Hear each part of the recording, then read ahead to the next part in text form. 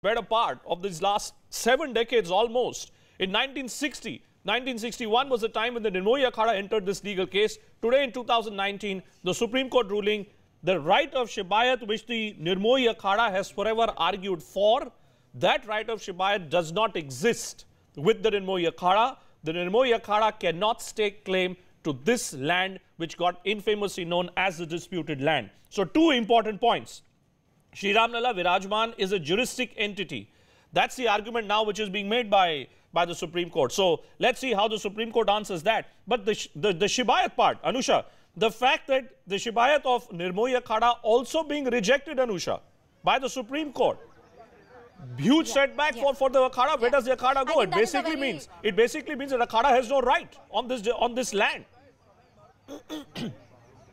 Yes, I, I will I will uh, tread with caution and just uh, put it into perspective what Utkarsh has sent us. There are two points on which Nirmohi Akhada has got a setback. Hmm. They are barred by limitation. Now, to what extent are they barred by limitation? Hmm. Does it take away completely all the rights? Those are points to be clarified. But hmm. the second part of what you said is indeed very crucial, hmm. that Akhada isn't a Shabiyat. Now, hmm. what is a Shabiyat? Shabiyat is the perpetual right to worship a deity. Hmm. If I'm worshipping a deity at a certain place with my astha for many years, for many many decades, law recognizes my, my, uh, my right to worship the deity.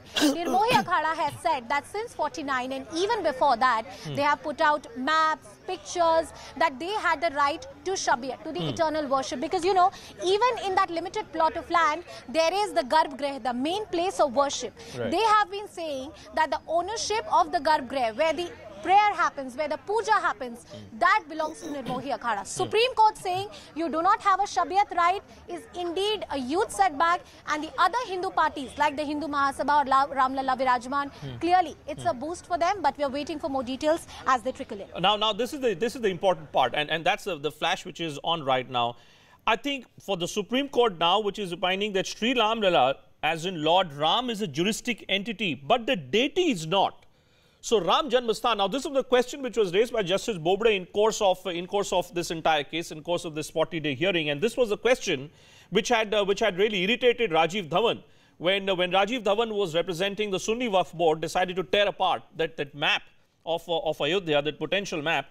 The Supreme Court is making it very very clear. Supreme Court junks theory of pre-existence of an Eidgah at the disputed site. Babri Mosque was not constructed on a vacant land. Now that's important.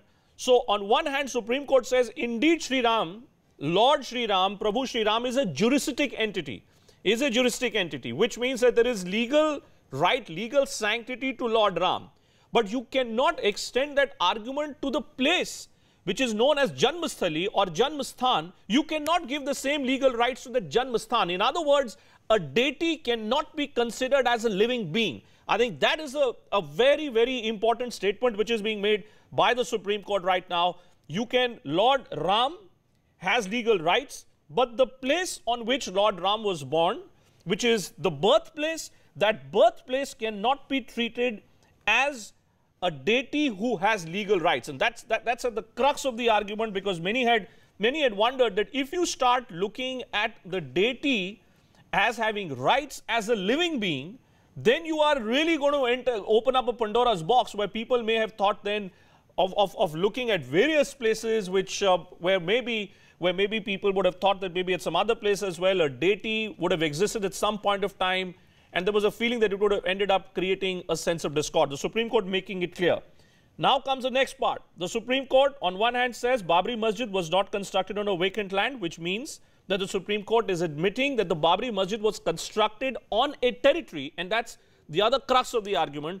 It was, it was created on a territory on which another structure existed. Now, which is that structure? Anand, look at what the Supreme Court says. The Supreme Court says the Archaeological Survey of India report can be lent credence to the